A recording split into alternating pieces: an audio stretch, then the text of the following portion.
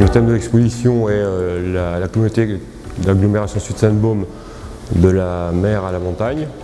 L'objectif c'était de montrer la, variété des, euh, paysages qui, euh, composent euh, cette communauté. Je me suis attaché cette fois-ci, en plus des, paysages, c'est à montrer également les gens qui, qui, la font vivre. Une communauté qui est très variée, qui commence à 0 mètre d'altitude et qui, se termine à la chapelle du Pillon, sur la commune de Ribou.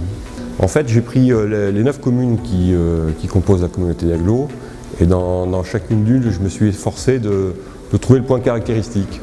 Donc euh, bah, forcément, je veux dire, comme, euh, tout photographe, euh, j'ai mes, spots préférés.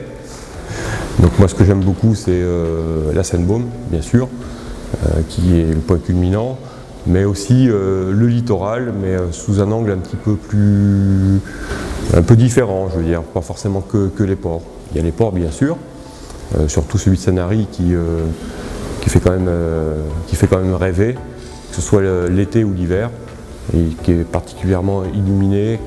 En fait, tout ce qui caractérise la Provence, euh, qu'on retrouve tout, particulièrement dans, dans la communauté d'agglomération Sud-Saint-Baume.